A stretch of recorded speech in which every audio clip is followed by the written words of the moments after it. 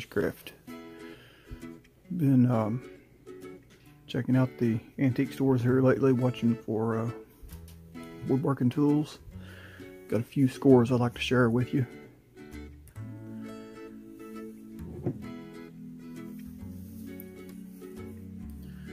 Some of y'all might know what that is. It's an old uh, type of a tenon cutter. Blade right here.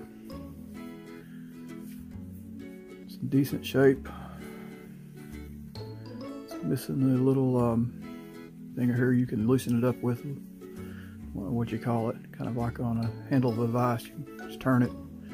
Ain't no big deal because I mean I can use a wrench on it to turn it that will uh, adjust the size of the tenon you're cutting.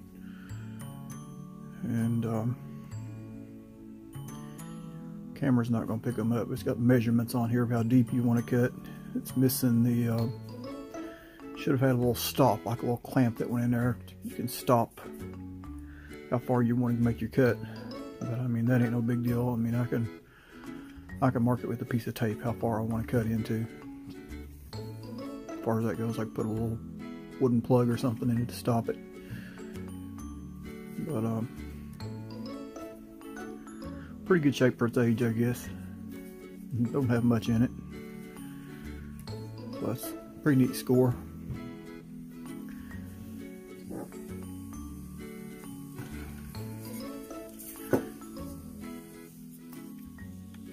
All right.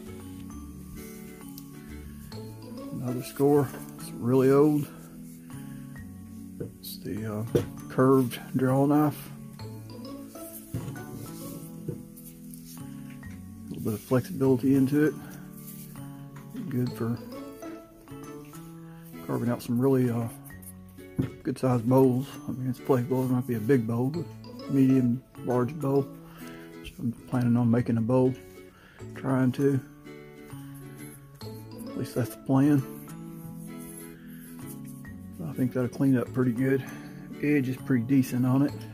A little surface rust, but should be able to clean up pretty good. Handles are old, but still solid.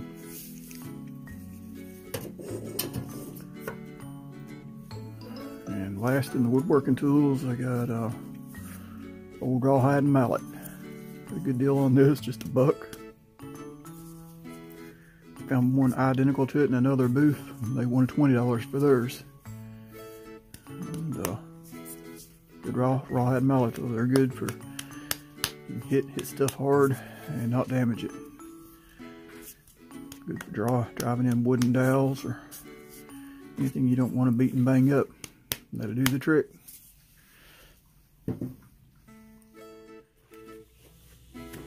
Oh yeah. That's the main reason I was making this video. I almost forgot. So, got these back out. As you can see, back in the day, still the original box. Back in the day, some point in time, very long time ago, this set sold for $5.80. Please don't ask me what I give for it today. Anyway, this is, I was tickled to find this brand new, still in the box, never used.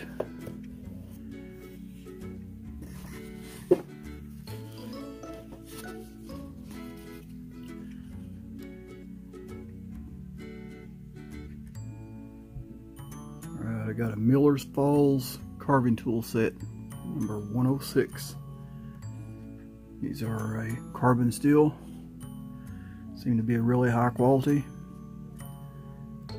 made in Greenfield, Massachusetts in the USA, so they ought to be some high quality tools. I was tickled to find these, new, never used. Got a set of six little carbon carving tools. There's the one I like the most, the little spoon gouge. And uh, like I said, don't ask what I get for this set now, but um, I went to the local woodcraft store near where I work and um, it's comparable for what they sell today. And uh, I definitely didn't give the five dollars and eighty cents for them, but uh, it definitely wasn't a deal of the day. But uh, I was tickled to find them. I mean, I would give the same, probably more, for a set made in Switzerland, which Switzerland makes some pretty good carving tools. But um, I'm tickled with them. They seem to be a really high quality set.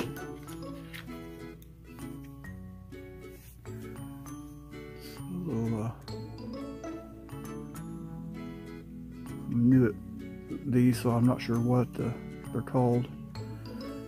No, the camera's not picking them up. That's kind of a little, comes to a little sharp point, a little V, V gouge of some kind. It's kind of like the spoon gouge, just a half circle like. It's kind of the curved flat gouge. Good for digging out.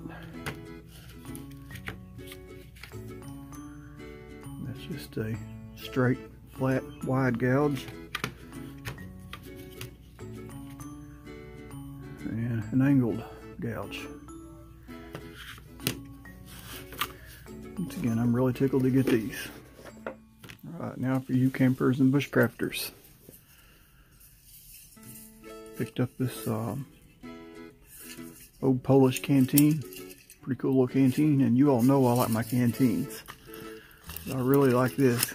This really large mouth on this thing. Look at that. Really nice shape. Got a nice cork gasket. Replace the Take out that screw and that plate. really clean on the inside. Don't look like it's ever been used.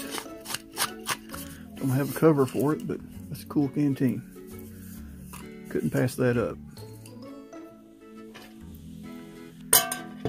Next, well, you all know what this is. It doesn't have a burner with it, but I have my aluminum with a burner. So I think I'll take the burner off of it and put it on here. It's a Swedish Army mess kit, stainless steel. Thought that's a pretty good score.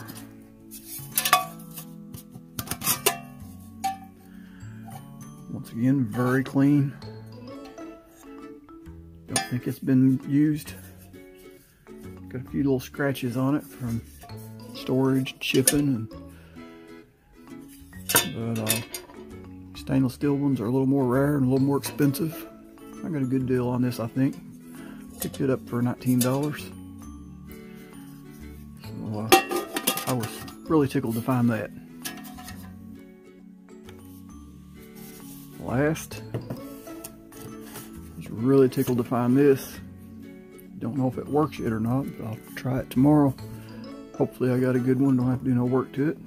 But if I do, I do. I mean, it shouldn't take much to get it going if it don't work. I don't think the camera is going to pick that up. It's the Coleman Peak 1. Comes with a little Canadian pot gripper. Got the stove. Nice little square pot.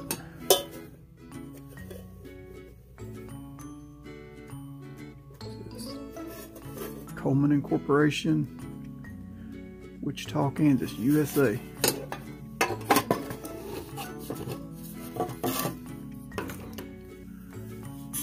Got the little fold out legs on it. I've pumped it up. It does pressurize and hold pressure. So hopefully tomorrow I'll put some fuel in it and it'll fire right up. I really like this. Never seen this feature before. Got this little plastic ring on the bottom that slides back and forth. And what that does is adjust to the leg if you're on, got it sitting on the ground. If it's not level, you can adjust the height of that leg of uh, how it folds up there. Well, that's a pretty cool feature. I really like that. I mean, you know how hard it is to keep your stove level out when you're out camping and sitting it on a rock somewhere on the ground. I mean, there's nothing level out in the wild. So that's a pretty cool little feature. I really like that. So wish me luck tomorrow when I fire it thing up, and hopefully she'll fire up first try. Alright, thank you all for watching.